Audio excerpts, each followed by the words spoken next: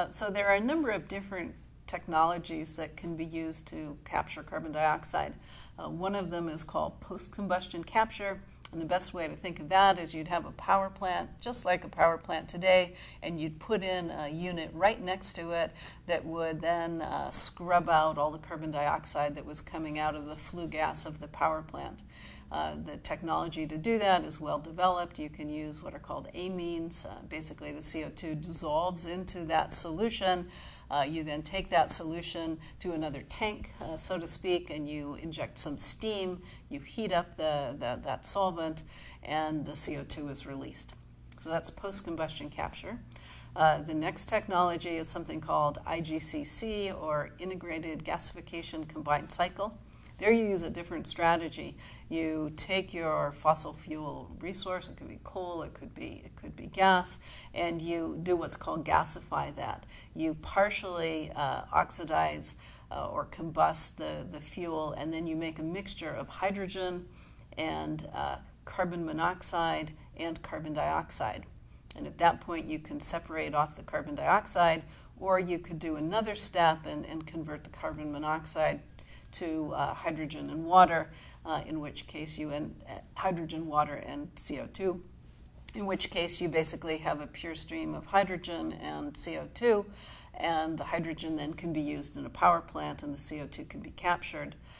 So that's called IGCC. And then the third one is that uh, normally when we burn fossil fuels, we burn it in air. So air is about 80% nitrogen, 20% oxygen. So after the after you burn it, you've got this mixture of carbon dioxide and nitrogen, and it's typically for gas plant about 5%.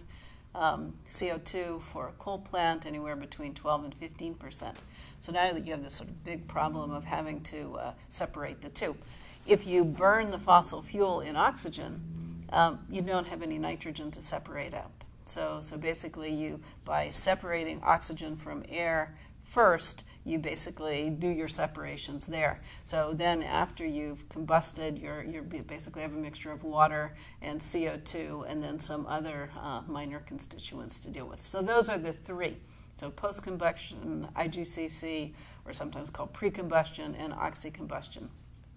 So in terms of those technologies, which is the best to apply there, it's really a horse race. Um, Post-combustion, probably biggest benefit could be used for retrofits.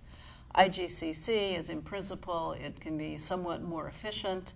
Uh, for a while, everyone's sure that was going to be the winner, um, but, uh, but the post-combustion folks said, well, hey, wait a minute, if we do better heat integration, we can be as efficient as you are. Um, and then uh, oxy-combustion is really appealing to the utility companies because they no longer have to run a complex chemical plant on the downstream end of their power plant. So they, um, so they basically would buy oxygen. You know, they're companies who produce oxygen on a huge scale. So it makes their job easier as they get out of the they get out of the separations business. So th- that's what's uh, available today. Um, lot, huge amount of research at the industrial level, at the academic level. The government's putting a lot of money into this with the big goal of reducing the cost and second goal to reduce the energy requirements.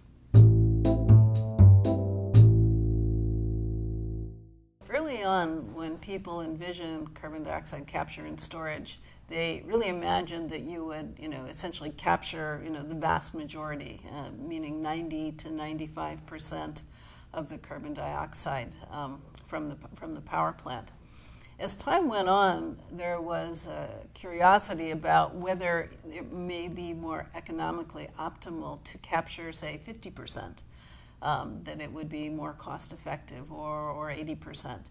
Um, and in particular, you know, the people raise the question, well, wouldn't it be great if we had a really cheap technology to capture 50% of the CO2 from coal plants in China, you know, do that as a retrofit, since they've got such a huge new coal fleet there. Um, however, when people look at the economics of doing this, it's not clear that the benefits are that great, that um, so, so right now, I would say that if anything, that the sort of whereas the pendulum was sort of over in that partial capture for a while, I think it's swung back, and people really don't see see the overall benefits of, of partial capture. But that can change at any time. This is a very dynamic, uh, fluid, fluid environment.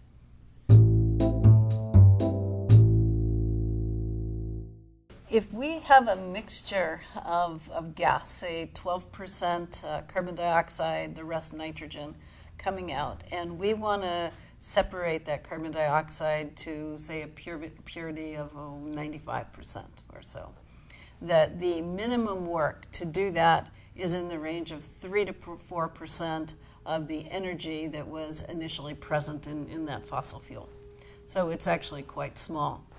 Today's capture processes, depending upon whether it's post combustion or IGCC, range anywhere from 15% to 30%.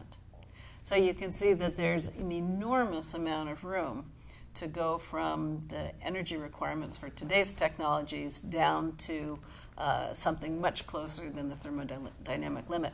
However, 3 to 4% is the thermodynamic limit.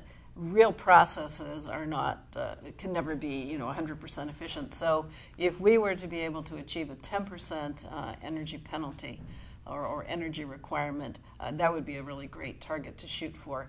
And, and again, there, there is a, a long way to go.